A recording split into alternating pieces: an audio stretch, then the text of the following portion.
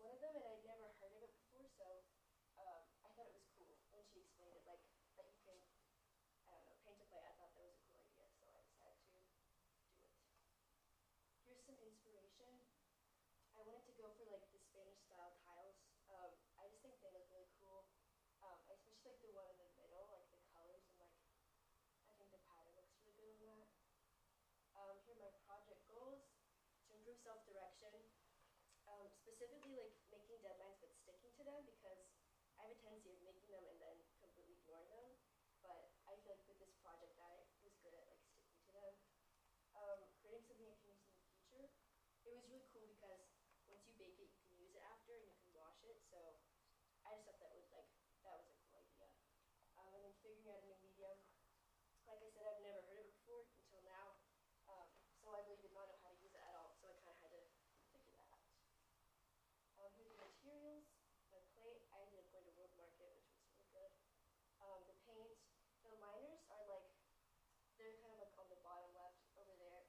You kind of like trace your design the liners, and then you end up filling in the design with the paint afterwards um, brushes, a palette, and then carbon paper, which is right here, which basically you have like your surface, you put the carbon paper on top, and then you design on top of that, and you like tape it down, and when you trace over your design, it like transfers to the plate. Um, and then like after that, you go in with the liners over the design, and then paint. So that was really cool. Production. Uh, on the left, that's my first like pitch sketch. I originally wanted to do a circle plate, but then I decided like the tiles would be cut off, and I just like the square plate more. Um, but yeah, I ended up like pretty much sticking to that design. Um, the second one is my like final design I came up with, and this is me tracing. Um, and this is my first hiccup. The tracing did not transfer onto the plate. Um, I soon realized that was because I was using paper that was too thick, and I don't think it was pressing down like quite hard enough as I should have. Um, and that was really annoying because I spent so long tracing it and then I lifted it up and it was just not there. Um, my second hiccup, it worked. I ended up um, copying the design like on printer paper, um, but it when I copied it, like I think it got cut off somehow, um, and it wasn't like quite lined up. And so the design, like you can kind of in the corner, it's not really lined up with the plate. But I didn't want to redo it because it had taken a while. Um, so I just decided to kind of like work with it. Um, yeah. Here's some more progress. There's me lining. Um, the lining was actually really hard for me because my hand was like really shaky. Um, it was a, it was a hard time, and I had to like deviate from this like um, the tracing, so that was kind of like hard because it looked so messy because I would see like the tracing and the lining, and it was kind of weird. But yeah, there's lining complete. Um, here are the color schemes. I ended up choosing the top one. Um, and then I painted uh, and did like touch ups and stuff, and then baked it. And here is the final product. I also have it in person with me right here. Um, key takeaways. Um, it was really cool for me to have like the physical like outcome for the project. Um, I typically work with digital art like by my like in my personal time and like also this year I think we've done a lot of digital stuff. So it's really cool for me to have a physical product, um, one that I can use in the future. Like I can put my dinner on this plate, which is cool. Um, there's you have to use thinner for the paint, and I never really understood it, and I would kind of just like put it in and like I didn't really understand how much I should have done, and so I feel like with the light blue, I used maybe a little bit too much, and so I think for the future I would figure out uh, how to use it next time. Um, and yeah, the lining was stressful for me because my hands were really shaky. Um, but yeah, and the painting was fun for me because it was just it's very relaxing. And yeah.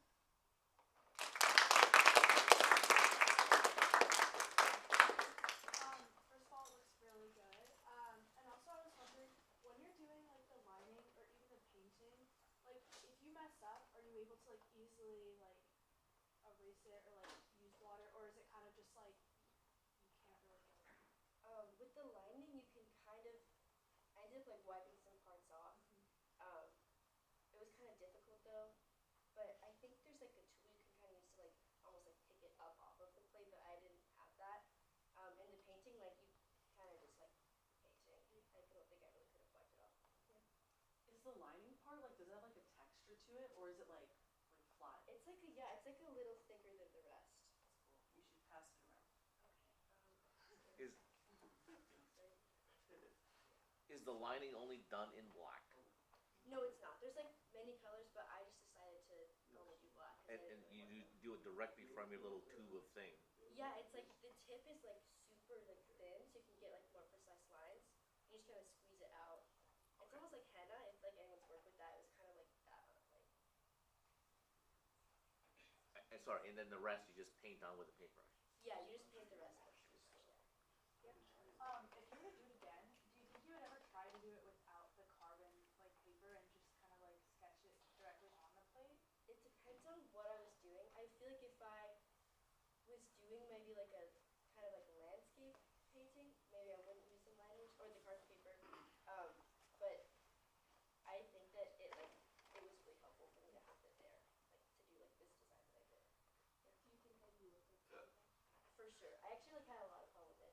And I feel like I I would like to do it again with like all the knowledge I have now and I feel like it'd be cool to have a set of like dishware with like with all the same design like like cups and like different plates and stuff. Yeah.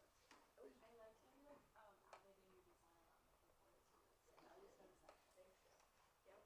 So you didn't use Illustrator at all? No, I didn't. I just did all paper. Yeah. How do you like get it like centered, like the like I'm not explaining, but yeah, like on the plate. On the plate. I it was I just kinda like looked at it and like tried to see like if it was So centered. you just like eyeball it. and I, you know, I pretty much eyeballed it. It was hard to like do it more exact because the like edge of the plate like goes up a lot, so like there wasn't really a lot I could do to be super exact. Yeah. Um, do you still prefer doing your art digitally or you- have you like changed your ways? I st- uh, I don't know. I feel like for me visual art's more like every day. Like I still like this. Like I would do this again for sure. Like more physical art, but like I still love visual art. So. I went to uh, on my birthday last Saturday. I went to this San Jose Maker Faire and I saw this stuff. It's it's kind of a new thing. It's called UV de- des- design to film. What it is is you design things in Illustrator, you print it out with this ink on this special film, and it's UV printed um, using ultraviolet light. And then it's basically like a, a very thick sticker that you put on your thing, and it's you can wash it. You it's non-scratchable. You can't. It's it's really cool. And it's like basically what you're doing is like a, a one-off personal art. But if you had to mass produce that, there's no way you would do it hand Yeah. by hand. So you, you could do this kind of digital version of what you're doing. And I think it's it's kind of new, and I I, I want to maybe try it with you guys next year. So it'll be cool. So I wanna try it too. yeah, That sounds super cool. Thank you very much.